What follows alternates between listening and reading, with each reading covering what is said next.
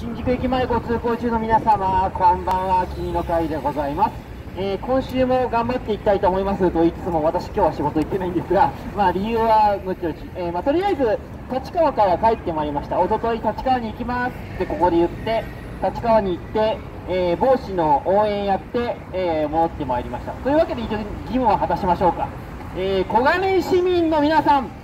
いらっしゃったら、小金井市民の皆さん、いらっしゃいましたら、えー尖閣を守るために、日本の領土を守るために、小金井を守るために、志垣、志垣さん、志垣隆一氏をぜひともよろしくお願いいたします。来週の日曜日21日投開票ですので、何卒よろしくお願いいたします。はい、義務を果たしましたので、進めていきたいと思います。はい、というわけで、えー今日の1本目は北朝鮮のネタでございます。えー北朝鮮で食糧難が厳しいのは皆さんもご存知ご承知おきの通りでありますがなんかザックザックの記事なんであの単にリツイートだけかもしれないんですけど、えー記事ね。食料不足の北朝鮮でウサギ豚などの、えー増産支持市民は反発もって書いてあるんですが、えーここで鳥が出てこないのは結構不思議なんですけどね、はい。えー皆さんこう家畜を育てるのに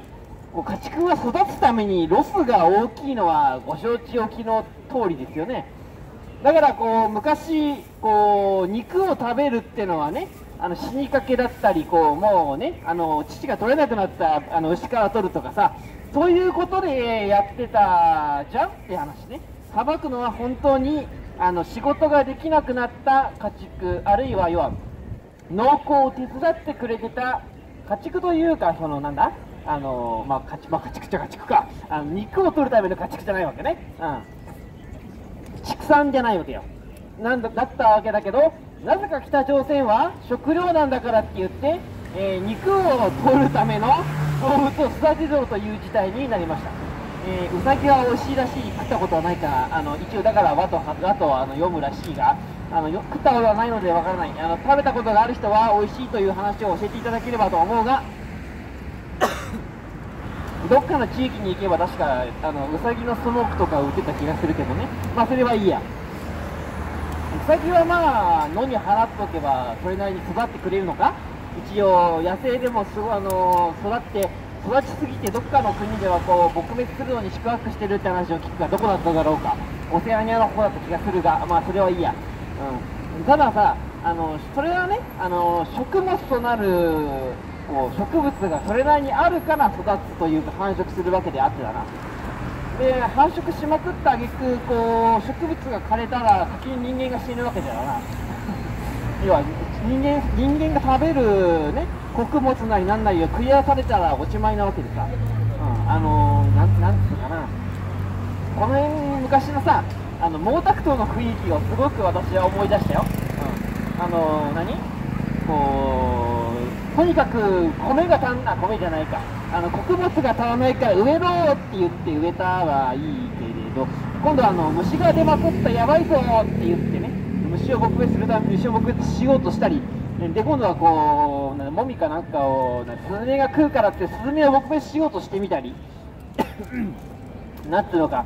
こう基本的な理科の授業で習う食物連鎖を